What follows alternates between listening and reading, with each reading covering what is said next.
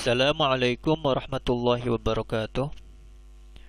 Pada pertemuan kali ini, saya akan berbagi mengenai bagaimana caranya menanyakan suatu harga dalam bahasa Arab Amiyah. Untuk menyampaikan berapa harga atau menanyakan, kita bisa menggunakan kata bikam haza bikam haza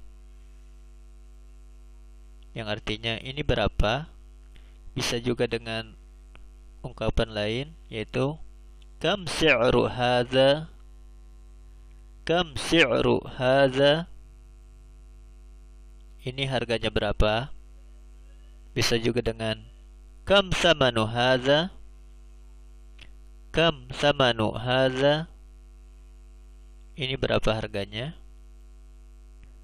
Dan untuk menjawab bisa disebutkan harganya diawali dengan bi. Misalnya bi khamsati alaf rubiyah.